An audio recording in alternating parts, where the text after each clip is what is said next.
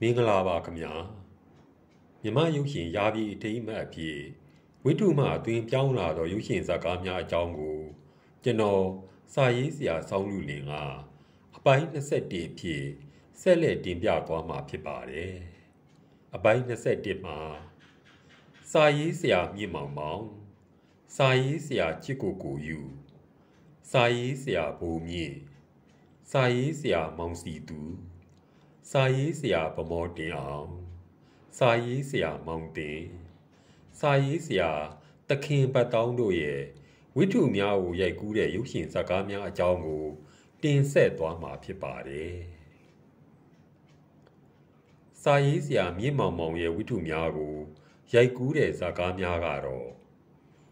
ပန်းအိမ်မက်နဲ့အစုံးမဲ့အချစ်ဇာတ်ကားများဖြစ်ပါတယ် စာရေးဆရာချစ်ကိုကိုယူရဲ့ဝိထုကိုရိုက်ကူးတဲ့ဇာတ်ကားကတော့နှလုံးလှလူမိုက်ဖြစ်ပါတယ်နှလုံးလှလူမိုက်ဇာတ်ကားမှာ2000ခုနှစ်အတွက်အကောင်းဆုံးဒါရိုက်တာစုဒါရိုက်တာမောင်တင်ဦးအကောင်းဆုံးအမျိုးသားဇာတ်ဆောင်စုမင်းမော်ကွန်းအကောင်းဆုံးအမျိုးသားဇာတ်ပို့စုနေအောင်အကောင်းဆုံးအမျိုးသမီးဇာတ်ပို့စု မေတင်စာဦးတို့အကယ်ဒမီရရှိခဲ့ကြပါတယ်။စာရေးဆရာဘိုမြင့်ရဲ့ဝတ္ထုများကိုရိုက်ကူးတဲ့ဇာကားများကတော့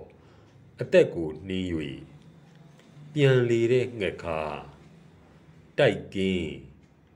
မုံတိုင်းဆဲလေသောဇာကားများဖြစ်ပါတယ်။ဘိုမြင့်ရဲ့ဝတ္ထုကိုရိုက်ကူးတဲ့ဇာကားများတဲကအသက်ကိုနှင်း၍ဇာကားမှာဒေါ်သိန်းရှင် 1969ခုနှစ်အတွက်အကောင်းဆုံးအမျိုးသမီးဇက်ပို့စု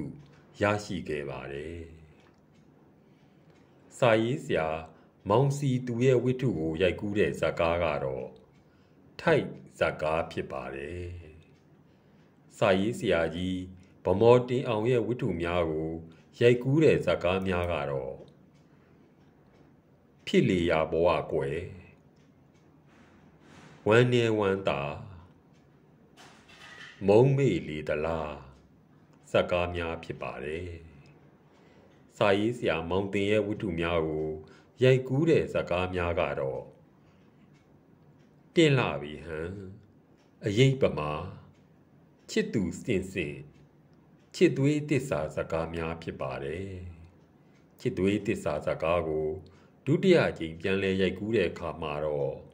အမျက်နှိုးဆုံးနှင်းအမည်နဲ့ရိုက်ကူးခဲ့ပါတယ်။ စာရေးဆရာရုပ်ရှင်မင်းသားမောင်တင်ဟာချစ်သွေးတစ္ဆာဇကားနဲ့အကယ်ဒမီဆုရရှိခဲ့ပါတယ်။စာရေးဆရာကြီးတခင်ဘတ်တောင်းရဲ့ဝတ္ထုများကိုရိုက်ကူးတဲ့ဇကားများကတော့ပန်းတာမဆာဦးနဲ့သမီးတကောင်ဇကားများဖြစ်ပါတယ်။